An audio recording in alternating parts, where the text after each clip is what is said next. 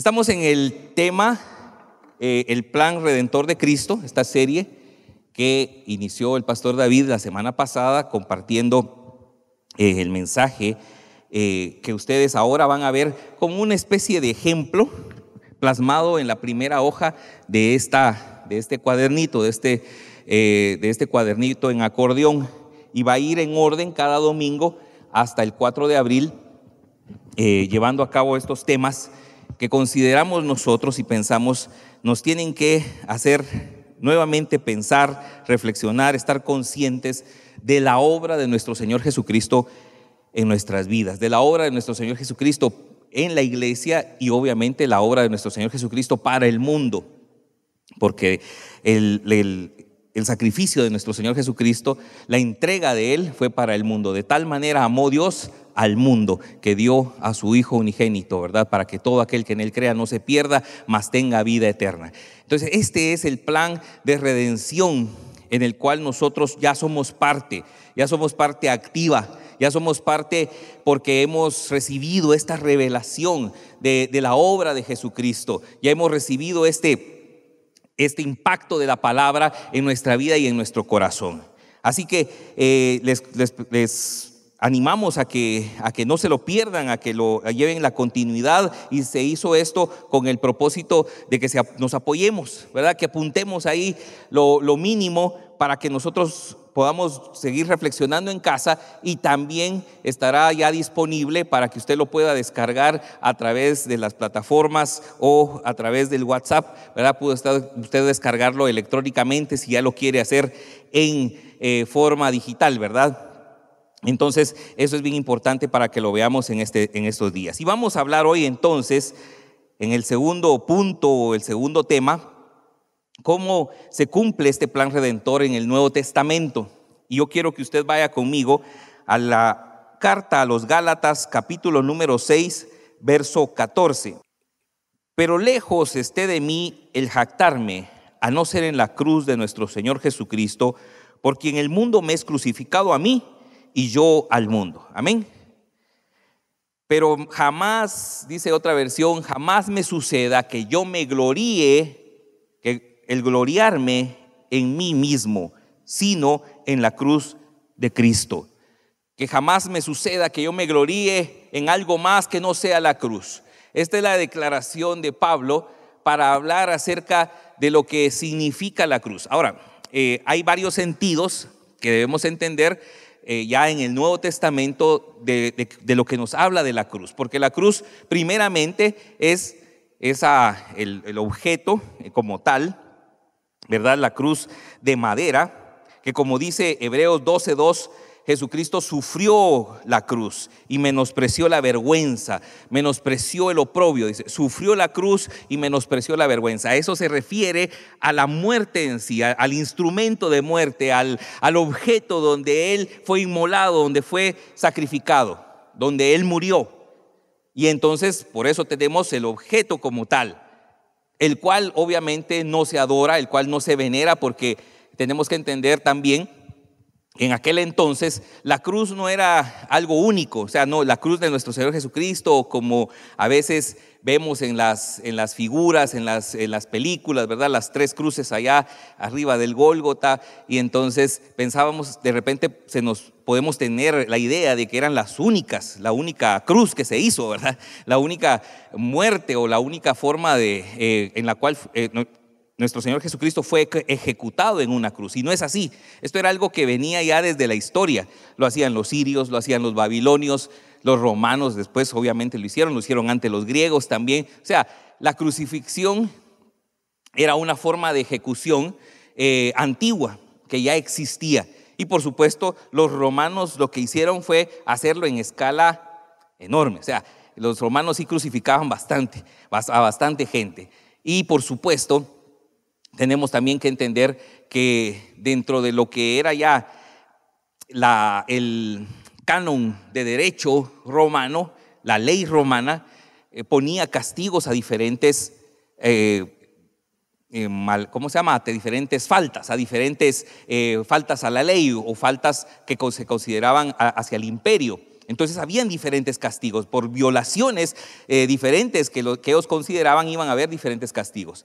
La cruz era lo que se llamaba el suplicio máximo, el, el, el, sumo suplicio.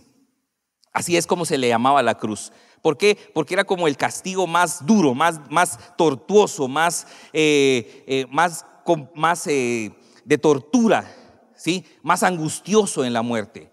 La cruz era el primero, luego venía la hoguera, ¿sí? la cremación como tal, quemar vivo a la persona, y el tercero era la decapitación. Esos eran las tres, eh, los tres castigos más eh, fuertes, ¿verdad? los peores castigos que habían dentro de la ley romana. Entonces, por supuesto, la cruz iba a ser para los peores, la cruz iba a ser para los enemigos. La, cruz, por ejemplo, era para aquellos, eh, había una, una etnia en España en la Cantabria española, verdad que ellos cuando los crucificaban estaban cantando, era un desafío a Roma, era tal, era para los rebeldes, era para los que se oponían al imperio, ¿sí? Para aquellos que, que no se dejaban doblegar y que no se unían al imperio.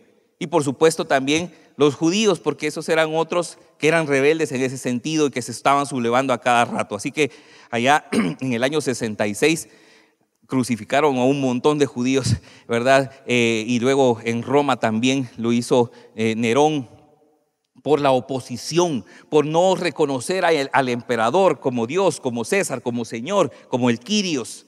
Entonces era, era el, castigo máximo y era para los enemigos, era para los, eh, para los malos ah, con, el imperio, los que no se alineaban a la ley romana y al imperio romano. Y por supuesto, también entonces vemos ahí que este era un castigo que era para vergüenza, que era para, para ser visto por todos, no era, un, no era algo que se ejecutaba dentro de cuatro paredes, en una fortaleza, algo que se ejecutaba dentro de un cuarto, por ejemplo, un cuarto de tortura, era algo que tenía que ser público, algo que tenía que ver, estar a la vista de toda la comunidad o de la ciudad de aquel que eh, donde se capturaba al reo o de donde él era originario o donde estaba originando él tal vez su subversión o donde estaba originando su delito o donde hacía, su, eh, hacía este delito. Así que entonces tenía que ser público. Por eso es que el Señor Jesucristo estaba en un lugar a la vista de todos. ¿sí? La cruz de nuestro Señor iba a estar a la vista de todos. Tercero, tenía que ser humillante y tenía, y cuarto, ¿verdad? tenía que ser doloroso. Entonces, antes de la crucifixión venía la flagelación, antes de eso venía eh, el, golpe, venía la, flagelación en este sentido, los azotes y luego la humillación. También, otra vez, no pensemos en las figuras que nos presenta la televisión o las películas, ¿sí? Era desnudo, no había, no tenía, no, no había ropaje, ¿sí? Y era eh, totalmente desnudo. Así es como se crucificaba, así es como se, hacía, se llevaba a cabo esta ejecución. Por tanto, nuestro Señor Jesucristo allí en esa cruz, ¿verdad? Por eso es cruel, por eso es una muerte difícil, por eso es una muerte dura, ¿verdad? Por eso es una muerte de humillación y por eso es que también la ley de la Torá judía decía, ¿verdad? Maldito el hombre que es colgado en un madero porque se entendía que esto era para la peor persona, para los peores criminales, no era para el inocente, no era para, no era para el que había hecho alguna violación menor o, había hecho algún delito pequeño, ¿verdad? Era para el peor criminal y por eso es que había sobre ellos no solamente la ignominia, no solamente la vergüenza, no solamente la humillación, ¿verdad? Sino también de parte de la ley judaica, ¿verdad? La maldición sobre aquel que era colgado en un madero. Este es el primer sentido. El segundo nos habla del compromiso de seguir a Cristo, para el cual, ¿verdad? Vamos a tener también un tema muy, o sea, va a haber una prédica, un mensaje sobre esto por, por todo lo que esto implica, ¿verdad? El que quiera venir en pos de mí, el que quiera ser de mi discípulo, dice, tome su cruz y sígame, ¿sí? Tome su cruz y sígame. Y todo esto tenemos que entenderlo bien, porque ¿cuántos no queremos ser discípulos del Señor? Amén. ¿Cuántos no queremos seguir a Jesús? ¿Cuántos no queremos o no vemos en nuestro Señor Jesucristo a, nuestro rey, a nuestro gobernante? Entonces la Biblia es clara en decir, si alguno quiere venir en pos de mí, ¿qué tiene que hacer? tome su cruz, niéguese a sí mismo y sígame. Amén. Entonces, esto es muy, muy importante para la vida del creyente. Y la tercera, el tercer sentido que necesitamos ver en la palabra es que se usa para significar el camino de la salvación. ¿Sí? El camino de la salvación, pero a través precisamente del Cristo crucificado. El camino de la salvación precisamente de ver esa figura al Cristo en la cruz de madera. Por eso es que el apóstol Pablo y, y el resto de discípulos que escribieron van a hablar de esto, de la cruz, no como la cruz en sí, no para que la cruz se venere, no para que la cruz, ¿verdad?, la pongamos y aquí pudiéramos nosotros, pues, encenderle algún tipo de, de flama, ¿verdad?, sagrada, sino para que entendamos, para que nuestro, nuestro corazón, sí, tenga un símbolo, tenga una, una eh, sepa bien, y, nuestro entendimiento, a nuestra cabeza, sepa bien cuál es ese camino de la salvación. Por eso es que entonces Pablo principalmente va a llamar a la cruz o va a denominar como la cruz el camino de la salvación, precisamente una salvación que fue dada, que fue provista por un eh, Salvador crucificado. Entonces, vaya conmigo a Primera de Corintios, capítulo 1, verso de los versos 17 al 25. Primera de Corintios, capítulo 1, verso 17 al 25. ¿Ya lo tiene? Y si no, creo que está ahí en la pantalla o va a estar en la pantalla. Dice, pues Cristo no me envió a bautizar, sino a predicar el Evangelio. Y esto no con palabras elocuentes, para que la cruz de Cristo no perdiera su valor. Ojo, aquí no se está refiriendo a la cruz como el madero, sino se está refiriendo a todo lo que eso implica, todo lo que eso encierra, todo lo que es el mensaje y es el camino de la salvación. Dice, entonces, otra vez, Cristo no me envió a bautizar, sino a predicar el Evangelio, y esto no con palabras elocuentes, para que la cruz de Cristo no perdiera su valor. El mensaje de la cruz es ciertamente una locura para los que se pierden, pero para los que se salvan, es decir, para nosotros, es poder de Dios. Pues está escrito, destruiré la sabiduría de los sabios y desecharé la inteligencia de los inteligentes. ¿Dónde está el sabio? ¿Dónde está el escriba? ¿Dónde está el que, escudriña estos tiempos? ¿Acaso no ha hecho Dios que enloquezca la sabiduría de este mundo? Porque Dios no permitió que el mundo lo conociera mediante la sabiduría, sino que dispuso salvar a los creyentes por la locura de la predicación. Los judíos piden señales y los griegos van tras la sabiduría, pero nosotros predicamos a Cristo crucificado, para que para los judíos es ciertamente un tropezadero y para los no judíos una locura, pero para los llamados, tanto judíos como griegos, Cristo es poder de Dios y sabiduría de Dios. Amén. Porque lo insensato de Dios es más sabio que los hombres y lo débil de Dios es más fuerte que los hombres. Amén. Amén. Bendito Dios. Aquí está hablando de ese mensaje, el mensaje de la cruz, dice, el mensaje de la salvación. Este mensaje que, el Señor, que nuestro Dios eh, encomienda ahora a la iglesia, que nos ha encomendado a los creyentes, que se lo encomendó a Pablo, que Pablo dice, yo no fui llamado a bautizar porque había una polémica del tema de quién, de que, el que, como quien dice que el que bautizaba se quedaba con la oveja, algo así, eh, para, para hacerlo sencillo. Entonces decía, no, yo soy de Apolos, yo soy de Pablo porque a mí Pablo me bautizó y, y no, yo fui con Apolos porque Apolos fue el que me bautizó. Es como que aquí de, ¿Qué oveja es de qué pastor? ¿Sí? No sé si ustedes han visto eso, en algunos lugares pasa. No, esta es mi oveja, no, que no se vaya con vos, que no vaya a tu evento porque es la mía. O sea. A veces los pastores loqueamos un poco. ¿Sí? como dirían, eh, bueno, mejor no sigo hablando de los pastores porque yo soy pastor.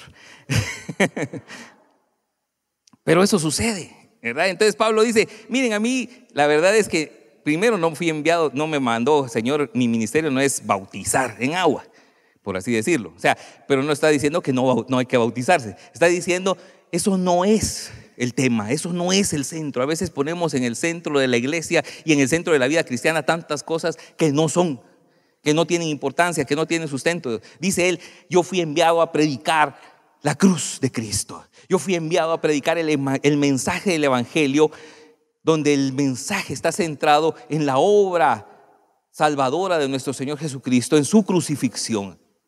Yo fui enviado a predicar al Cristo crucificado, dice. Eso es lo que yo he, sido enviado. Y por eso es que entonces dice, miren, es una locura. Si lo nosotros tal vez al verlo desde este punto de vista, dos mil y pico de años después, no nos, mm, nos puede parecer hasta irrelevante, si ustedes quieren. Podría parecernos hasta, hasta complicado, porque obviamente Primero, no hemos visto una crucifixión, por lo menos no, no públicamente, por lo menos no, no como algo natural, no como algo normal de derecho, por ejemplo, ¿verdad? No como una costumbre eh, dentro de nosotros, por lo menos este, de este siglo o de estos últimos siglos. ¿Me explico? O sea, para nosotros eh, no, no tiene la, la, relevancia que tenía en ese momento para quienes lo vivieron, para, para Pablo, por ejemplo, o para los discípulos. Entonces nosotros lo vemos a la distancia y tenemos que conocerlo de manera histórica para poderlo entender, para poderlo asimilar. Y entonces podemos ver, pero cuando en ese momento Pablo está hablando de esto, está diciendo, miren, entiéndanlo bien, porque Judea había sido conquistada, ustedes saben, hay una serie de, eventos donde Judea lo, que es Israel, ustedes lo van a encontrar como Palestina, ¿verdad? Eh, en la historia. Vamos a ver nosotros cómo fue cayendo de imperio en imperio. ¿Sí? Primero cae el reino del norte con los asirios, y luego ya cae el reino del tanto el norte como el sur bajo los babilonios, luego bajo los persas y luego bajo los griegos. Y ahí viene la helenización del mundo, porque los griegos alcanzaron hasta el Medio Oriente con, la conquista de Alejandro Magno y, es lo que se llama la helenización. Por eso es que de repente los idiomas van cambiando y el idioma oficial de repente se vuelve el griego. O sea, cuando, cuando los judíos salieron de, Babilonia y, vino la, la, deportación de Babilonia, o la deportación a Babilonia, perdón, y luego el retorno, el regreso hacia Jerusalén, ahí todavía hablaban hebreo. Pero 400 y fracción años, años después, cuando estaban ya bajo el imperio romano, ya se hablaba el griego. El griego era el idioma oficial. Y los judíos, por supuesto, conservaban no el hebreo, sino una lengua común que era el arameo, y el hebreo ya estaba prácticamente puesto o, era una lengua de los eruditos, era una lengua de la, de la clase culta, pero ya se estaba perdiendo ese idioma. Ahora, ¿Qué está pasando con esto? Que la, cultura, mírense bien, esto es cómo afecta la cultura. Porque entonces, bajo esa helenización que ha habido y bajo esa, esos siglos, porque no, son, no podemos decir años ni días, siglos en los cuales se ha llevado a cabo todo este proceso en esta región, miren, los griegos, ¿a qué le apostaban? ¿Mm? ¿Cuántos se pueden acordar un poco de la historia. ¿A qué le apostaban los griegos? Los griegos le apostaban a, los topados, a los físicos. ¿Sí? Por eso es que el perfil griego era, bueno, no sé cuál es, cómo es el perfil griego al final, yo no sé si, ¿verdad? Pero, pero era como el símbolo de la belleza. ¿Sí? Las mujeres griegas, ¿verdad? La, hermosura, la Venus de Milo, ¿ah? que era el símbolo de la belleza femenina, ¿verdad? Eh, los, grandes campeones de, Grecia, ni, ni, de gimnasio hoy, ¿verdad? Ni, anabólicos, bien naturales, pero así físicos. ¿ah? O sea, esa era la, esa era la, apuesta de, la cultura a, las personas, ¿verdad? Se hablaba de los espartanos como los que, aquel, pueblo que, que mm, asesinaba a, sus, a los niños que nacían con debilidad, que nacían eh, con defectos físicos. Porque esa era la cultura, eso es lo que, lo que impregnaba la cultura. Y luego venía el que había que hacerle estatuas, ¿verdad? Hacerle monumentos a los conquistadores, los que conquistaban, los, venían los romanos, ¿verdad? ¿Y cuáles eran sus héroes? Los legionarios. ¿Cuáles eran sus héroes, verdad? Los, los grandes generales, César, y, y, después los emperadores que se tomaron el título de Dios, había que hacerles monumentos, había que hacerles aquellas grandes efigies, ¿verdad? Aquellos grandes templos para ellos. Así que esta era la cultura. Y Pablo dice, un crucificado. Un crucificado nos muestra el camino de la salvación. Para los griegos, locura. Para los griegos era ridículo, para una cultura, una mente de cultura griega, que, decía, ¿cómo así? A mí que me muestren dónde está Héctor, ¿va? En la, de la, el Héctor es un héroe griego, ¿sí? A mí que me digan de Hércules, para ser tal vez más popular, los nombres, ¿verdad? A mí que me digan de dónde está Julio César, el conquistador, a mí que me hablen de aquellos que, que, que tienen ese dominio del mundo por la fuerza o por la belleza o por el intelecto. ¿Sí?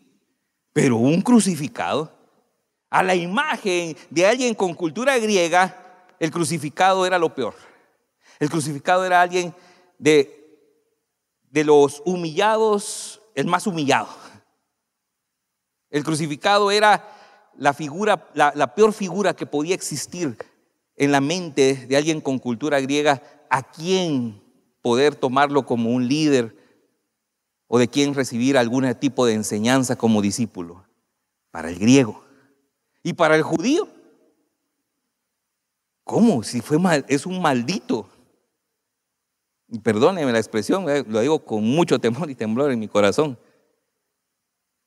Pero para alguien en ese momento, con esa mentalidad, no podía imaginarse que alguien que había sido colgado, crucificado en un madero, pudiera ahora tener la, categoría de Salvador o la categoría de Hijo de Dios. No podía ser alguien a quien, a quien eh, someter su vida.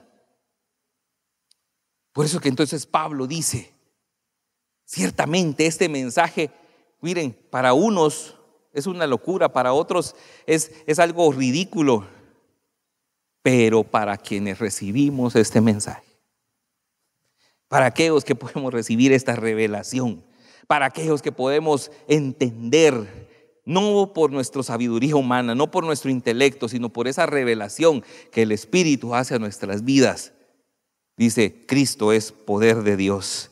Amén. Cristo es el camino de la salvación. Cristo es poder de Dios. Aleluya. Por eso dice, Dios no permitió que el mundo lo conociera mediante la sabiduría, sino que dispuso salvar a los creyentes por la locura de la predicación. Y este es, este es el gran contraste que hay en este momento, este es el gran contraste que, está sucediendo eh, eh, en, en, este momento ahí cuando Pablo está predicando a Cristo cuando va a aquellas, ciudad, a ciudades a predicar acerca de Cristo. Porque Él no está diciendo, miren al Rey de Gloria, miren al que está en el cielo, si para eso ellos tenían al sol, tenían, ¿verdad?, a los dioses en, sus, en, allá en el Olimpo, ¿verdad?, en, en los panteones, en los lugares altos. No, Él está diciendo, tienen que ver al crucificado. Antes de ver al Rey de Gloria, antes de ver al Rey entronado en los cielos, tienen que ver al Cristo crucificado. Porque no podemos conocer al Cristo reinando si antes no vemos al Cristo que se humilló a sí mismo hasta la muerte y muerte de cruz. No podemos ver nosotros porque es el camino que nos toca recorrer también en este mensaje. Es que sería fácil decir, hermano, ¿verdad? Cuando uno viene al Señor, que de una vez lo pongan a uno en el trono, que, ¿verdad? A veces confundimos un poco o alteramos un poco el mensaje, ¿verdad? Y decimos que somos reyes y sacerdotes, ¿verdad? Estamos reinando y todo eso es cierto. Pero hay un paso previo. Hay un paso antes de. Porque eso no existe si antes no pasamos por la cruz. Eso no puede ser si antes no pasamos por la cruz. Y por eso es que para muchos, muchos que están en la iglesia, o que podíamos haber estado en la iglesia durante años, esto no es real. O sea, es y no es. Me explico, es como quiero, sí, lo deseo, el mensaje apela algo a mí, pero, pero cuando no hay cambio, no hay transformación, cuando pasan los años y no siento esa, ese, ese compromiso fuerte en mi corazón, cuando no, miren, Jonathan Edwards lo decía de esta manera, tal vez ni siquiera es compromiso, no, esa palabra no es y creo que a veces esa nos, nos ata de alguna manera. Jonathan Edwards lo decía de esta forma, el gozo, un gozo profundo e inexplicable. Déjeme leerlo bien porque aquí lo apunté.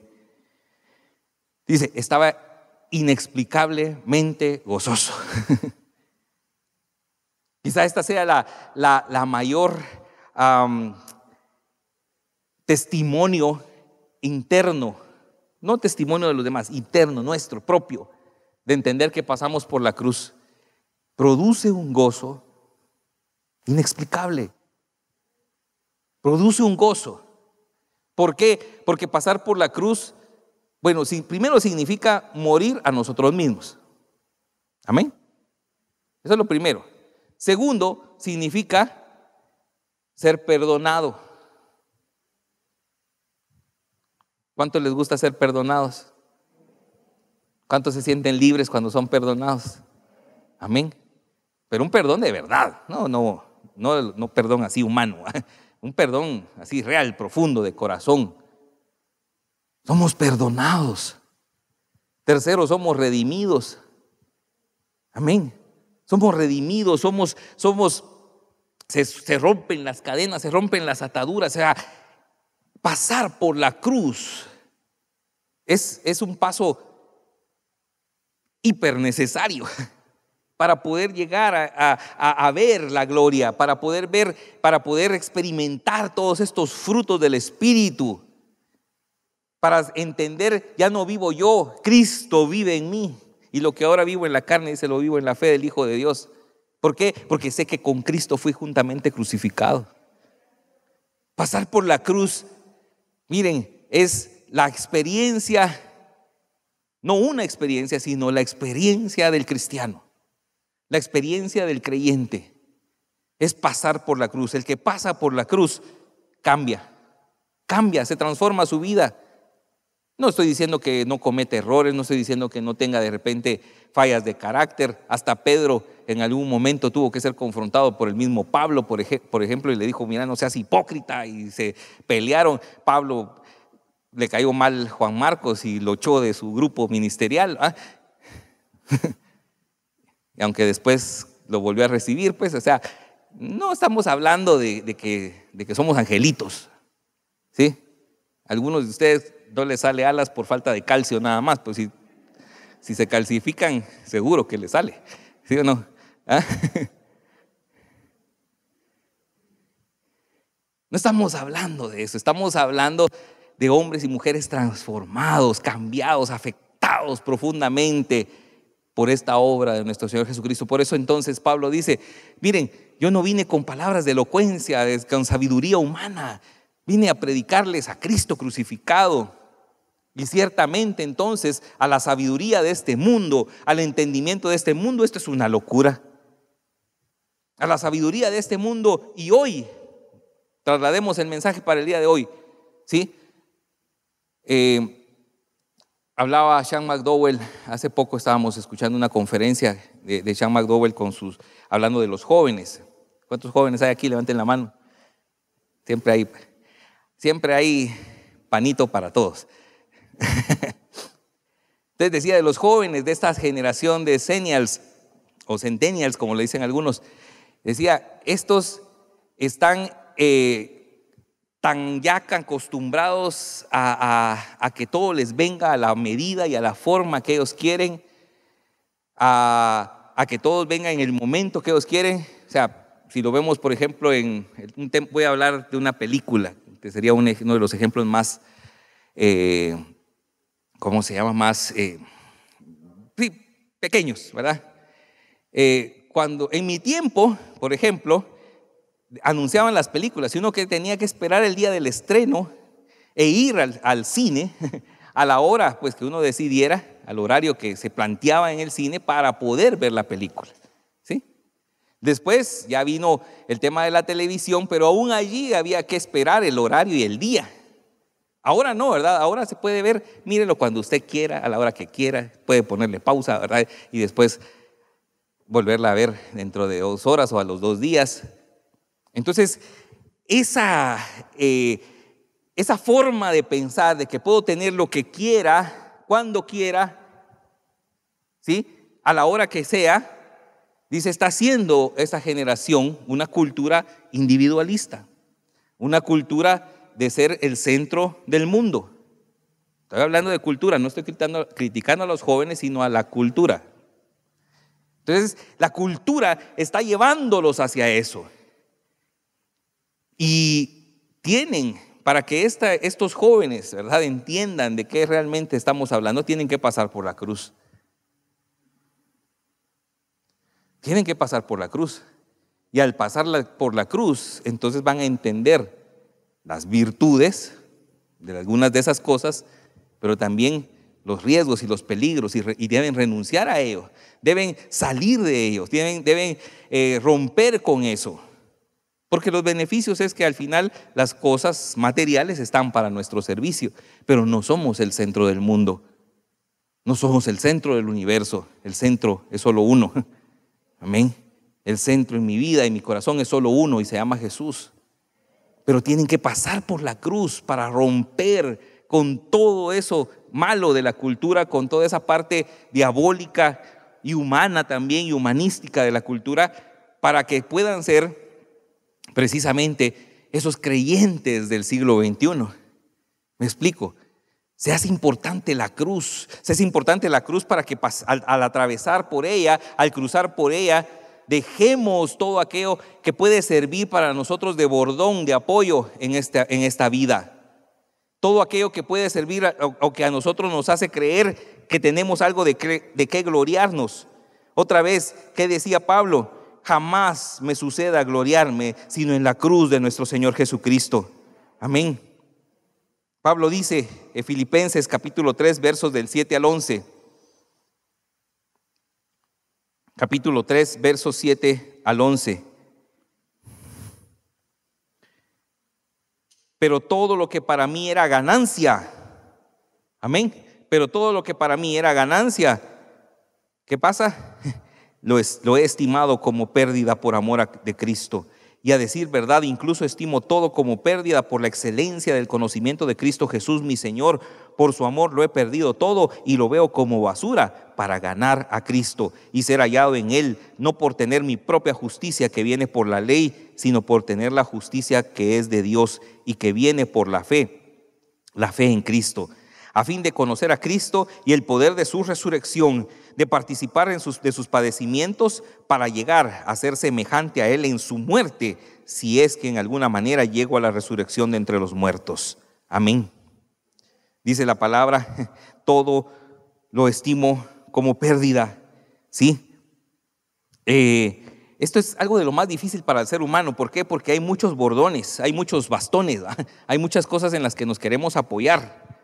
¿Sí? Siempre estamos buscando dónde poner nuestra confianza. ¿Sí o no? Siempre estamos buscando dónde poner nuestra confianza. Y la lista es larga. Yo, primero, a veces. Depende de mi autoestima. Pero algunos dicen, yo confío solo en mí. ¿Sí? A veces otros. Y ahí viene la codependencia. Mi confianza está en otros, en lo que hacen otros, en lo que otros dan, otros hacen, lo que otros me dan también como autoestima. Conocimiento. ¿Sí? Ponemos nuestra confianza en que somos muy eruditos, ¿va? Nuestra confianza en el destino. Nuestra confianza en el ocultismo. Hay muchos que ponen su confianza en el ocultismo, están leyendo el horóscopo todos los días ahí, ¿verdad? A ver cómo les va a ir. ¿Sí? Otros y otros, por supuesto, se meten más en ese sentido a tratar de poner su confianza allí, en bienes materiales. La confianza está bien si tengo con qué, ¿sí? si hay en la bolsa o en la chequera, ¿verdad? En la cuenta. ¿En dónde estamos poniendo nuestra confianza?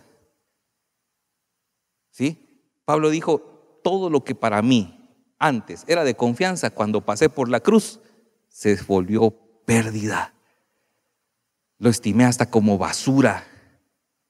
Algunas versiones lo traducen en el lenguaje original como estiércol, dice.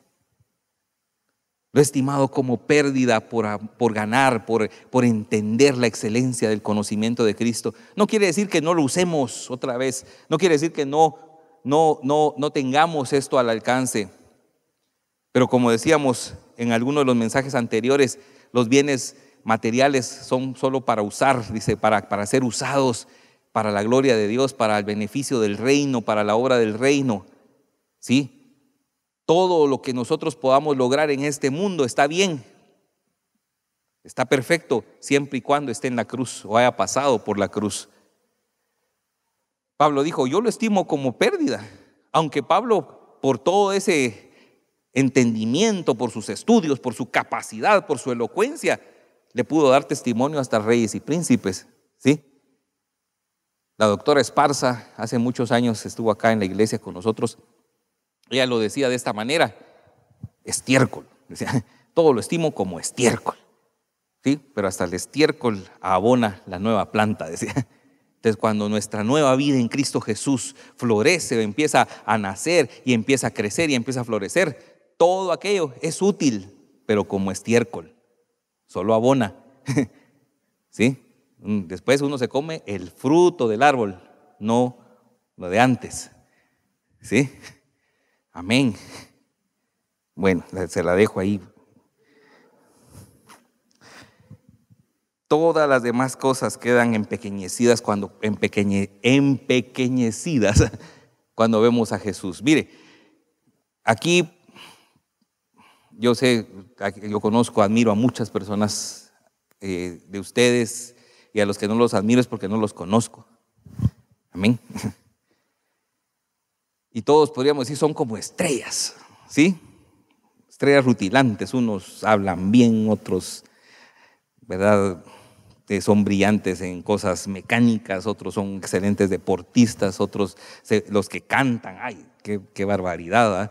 O sea, eh, algunos hacen bien los negocios, hacen bien las cosas, o sea, algunos se organizan bien, wow, o sea, se fijan en detalles, tantas cosas. Todos podríamos decir yo podría decir, todos tienen, son estrellas, ¿sí? Pero ¿qué pasa cuando sale el sol? Hoy había una, la, palabra, ¿verdad? Que cuando más oscura es la noche, ¿verdad? Eh, es cuando va a salir el alba. Pero ¿qué pasa cuando viene el alba? ¿Qué pasa cuando sale el sol? Le pregunto, ¿se miran las estrellas? ¿Mm? ¿Podemos ir a salir ahorita a ver alguna de esas estrellas? Así es cuando Cristo, Cristo Jesús, ¿verdad? Sale en nuestros corazones. Amén. Así es cuando Cristo Jesús es predicado, cuando Cristo Jesús es exaltado, cuando Cristo Jesús es proclamado como Señor. ¿Sí? Las estrellas siguen ahí, no se preocupen, pero ya no se van a ver. Es Cristo. Amén. Es Cristo Jesús. De esta misma forma es como Pablo lo decía, yo pongo mi confianza, toda mi confianza está en Cristo Jesús. Jamás me suceda gloriarme sino en la cruz de nuestro Señor Jesucristo. Amén. Ahora, la pregunta que tenemos que hacernos para ir cerrando, ¿qué ves cuando miras la cruz de Cristo? ¿Qué es lo que ves? La semana pasada David nos hablaba de cómo se miraba desde antes, cómo se podía ver desde antes, desde el Antiguo Testamento, cómo ya Dios lo anunciaba, cómo ya iba a venir a ser un hecho, una realidad en algún momento, en su, tiempo, cuando se sucediera ese Kairos. Y era algo para que estuviéramos, estuviera preparado el pueblo de ese tiempo. Pero ahora nosotros lo vemos en diferente ángulo, en diferente perspectiva. Lo vemos ya en un pasado. Lo vemos ya como un hecho. Y la pregunta es, ¿qué vemos ahí? Para muchos la cruz es una reliquia. Para, para, muchos la cruz es un símbolo, es más, es el símbolo de la cristiandad. así es como se, se ha reconocido desde, desde que Constantino, ¿verdad? Dijo que al ver la visión de la cruz, por ella es que obtuvo su, victoria y llegó, llegó a, a, ser el emperador que fue. Entonces se convirtió en un símbolo, en el símbolo de la, de la cristiandad. Entonces, ¿verdad? Ponga su cruz y ahí ya creen creemos todos que es cristiano. La pregunta es, ¿qué ves tú? No que ve la historia, no que ve los sociólogos, digamos, o, o el mundo, no, ¿qué ves tú cuando ves la cruz de Cristo? ¿Qué es lo que vemos ahora nosotros? Y esta es una pregunta relevante. ¿Sí? Porque la pregunta es, ¿ves allí al cordero inmolado? ¿Ves allí al cordero inmolado? Que la inmolación era el sacrificio por nuestro pecado. La ofrenda de sangre, ¿sí? Única, que pudo satisfacer a Dios, que pudo ser presentada delante de Dios para que nosotros fuéramos limpiados, fuéramos lavados con esa sangre. ¿Ves ahí al quien nos sustituyó, quien dio la vida por nosotros? Y al ver eso, pregunto, ¿te ves tú crucificado en la cruz? Pablo decía, con Cristo estoy juntamente crucificado. Por supuesto, no en la muerte física, pero sí en mi yo, sí en mi ego, sí en aquellas cosas que yo me consideraba que eran mi salvación o que eran mi justicia o que eran mis grandes dones, mis grandes talentos. ¿Los ves allí crucificados en la cruz?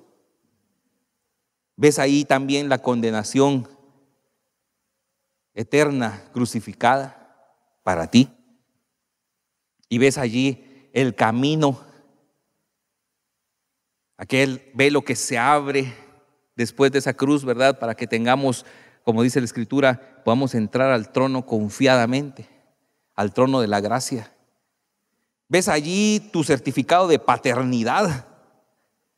O sea, la, la paternidad divina, la paternidad de Dios, porque dice, todos los que le recibieron, dice, les fue dada la potestad de ser hechos hijos de Dios. ¿Qué vemos cuando vemos la cruz de Cristo?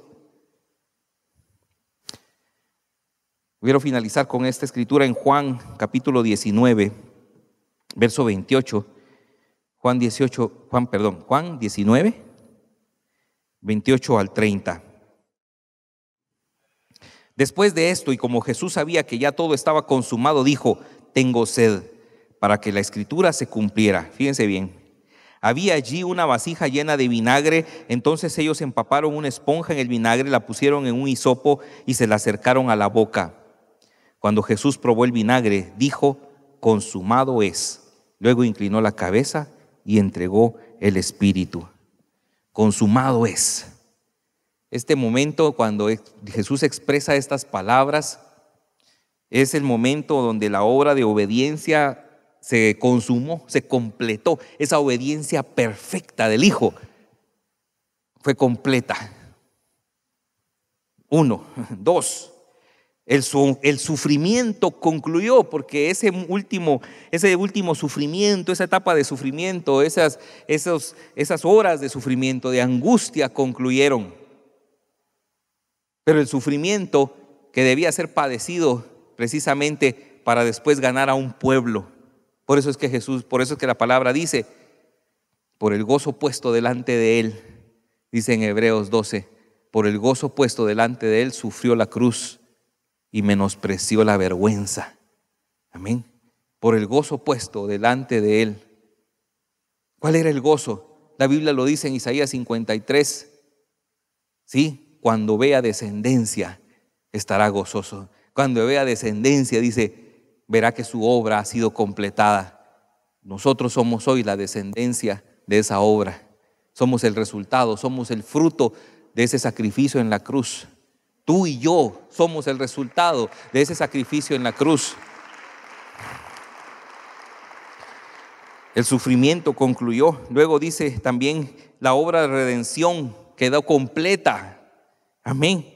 Y la ira de Dios sobre su pueblo concluyó. Aquella ira, miren, es que tenemos que ver y, ser abiertos nuestros ojos y si leemos a los profetas en el Antiguo Testamento tenemos que ver la indignación de Dios, la ira de Dios. ¿Por qué? ¿Por qué, ¿Por qué vino esa ira de Dios? ¿Por qué había esa ira divina? Y, y, y al ver hoy el mundo tenemos que entender por qué. La injusticia, el abuso de las personas, el maltrato hacia los demás, la autodestrucción, la manera en que nos tratamos como seres humanos. Por supuesto que Dios está indignado, pero en la cruz se aplaca esa ira, se aplaca esa indignación. Amén. Y viene lo que es la naturaleza de Dios, el amor. La nueva vida es otorgada como gracia. Amén. La nueva vida es otorgada como gracia. Ok, para los romanos, es la cruz, el que se colgaba en una cruz era lo peor de lo peor. ¿sí? Esa era la, ya, ya, ya vimos eso el que estaba colgado en una cruz era la peor persona, las peores personas. ¿Sí? Para los judíos también era lo peor de lo peor porque era maldito todo aquel que es colgado en un madero. Amén. Pero como dice el versículo 18 del capítulo 1 de Primera de Corintios, porque la palabra de la cruz es locura a los que se pierden, pero a los que se salvan, esto es a nosotros, es poder de Dios. Amén. Bendito sea el nombre del Señor. Yo te voy a pedir que cierres tus ojos, por favor. Bendito sea el nombre del Señor. La gracia, el regalo de la gracia es completo a través de nuestro Señor Jesucristo, porque la nueva vida es otorgada después de que nosotros mismos pasamos por la cruz. Y la pasamos, obviamente, por la fe, lo pasamos eh, en un acto de fe, lo pasamos también porque entendemos que así es. Entendemos que, que Cristo como nuestro sustituto cargó allí todo, todos esos pecados, cargó todas esas rebeliones, cargó todas esas transgresiones. Y viene el regalo de la nueva vida, la nueva vida en Cristo. Pero se hace necesario pasar por la cruz. Se hace necesario que cuando veamos la cruz nos preguntemos qué es lo que vemos. Porque para muchos es locura, dice. Para el que se pierde es locura, pero para aquel que va a ser salvo, esto es poder de Dios. Recuerda lo que está escrito, la piedra que desecharon los edificadores ahora ha venido a ser la piedra, la cabeza del ángulo, viene a ser la piedra de sustento, la, base, la piedra base. Y tenemos nosotros la oportunidad que al escuchar esto, al tener este mensaje, al escuchar la predicación del Evangelio, podamos ser confrontados por el Espíritu Santo y dar ese paso de fe dar ese paso de fe para no desechar a la piedra, para no desechar el mensaje, sino al contrario, para poder ponerlo en nuestro corazón y empezar a vivir por él, a que se vuelva la cosmovisión de nuestra vida, se vuelva el paradigma de nuestra vida. En tu entorno, en tu, en tu cultura, en tu, en tu forma ahora eh, en la que vives, pero ahí se convierte en el paradigma de vida. La cruz de Cristo se convierte en el paradigma de nuestra vida. Así que yo quiero preguntar si hay alguien aquí hoy que quiera hablar con el Señor y decirle, te necesito, necesito pasar por esa cruz, Señor, verme ahí crucificado juntamente contigo. Te necesito, Señor. Necesito que este mensaje transforme mi vida, cambie mi vida. Te necesito, Señor.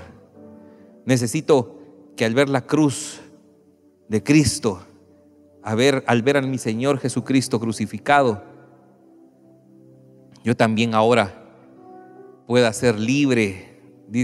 Yo no sé de qué necesita ser libre, de qué pecado de qué forma de, vida.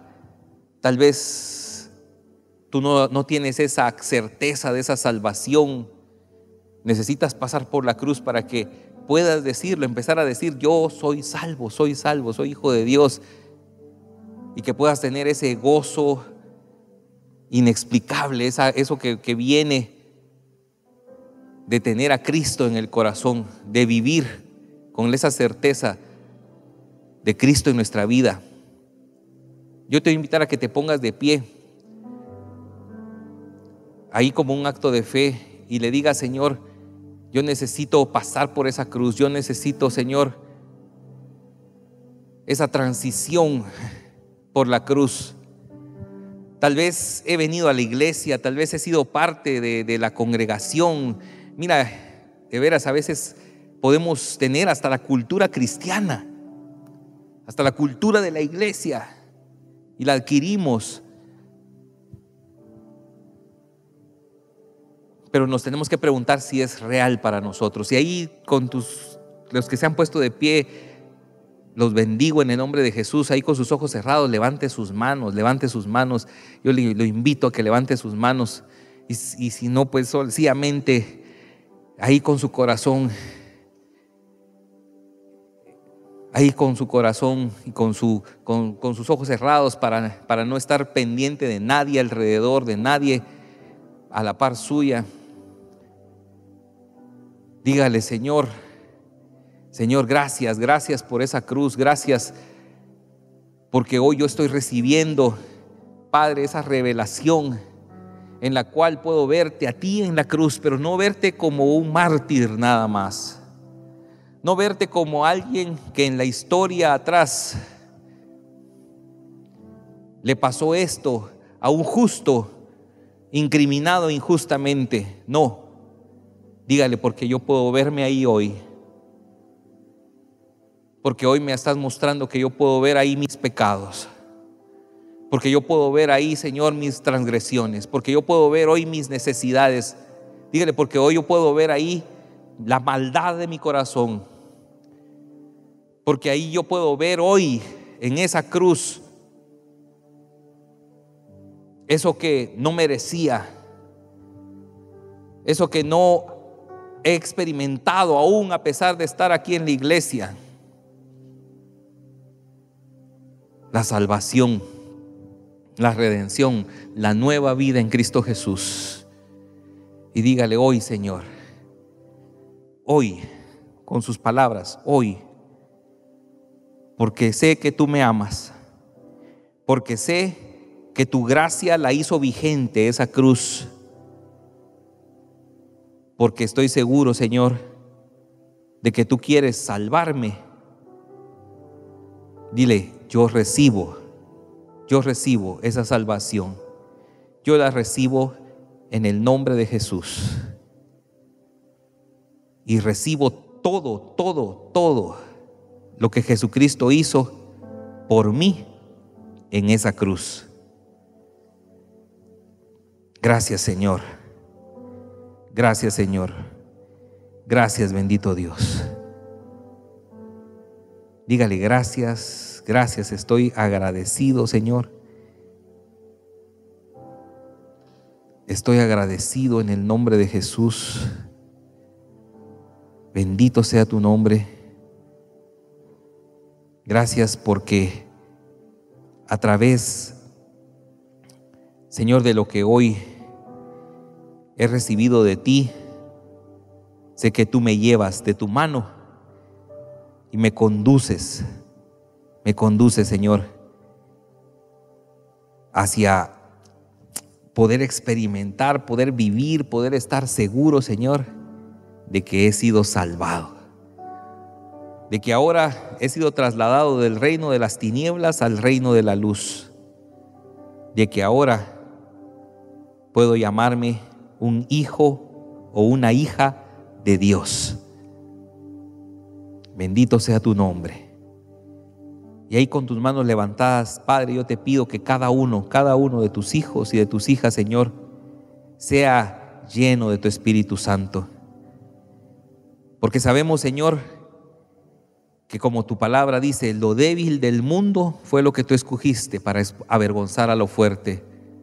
Lo insensato del mundo fue lo que tú escogiste para avergonzar a lo sabio. porque sabes, Señor, que te necesitamos a ti para caminar contigo. Te necesitamos, necesitamos tu compañía, necesitamos, Señor, tu presencia y necesitamos, Señor, tu poder para que ahora, Señor, no seamos vencidos de nuestra debilidad, no seamos vencidos de nuestra insensatez, ni seamos vencidos, Señor, de nuestra falta de sabiduría, que no seamos vencidos, Señor,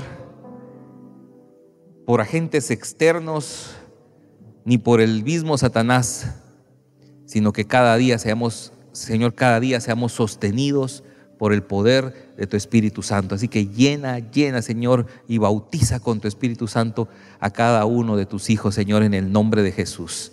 Llénalos hoy, bendito Dios, en el nombre de Jesús. Gracias, gracias, Señor. Gracias, Padre. Amén y amén. Gloria a Dios, gloria a Jesús.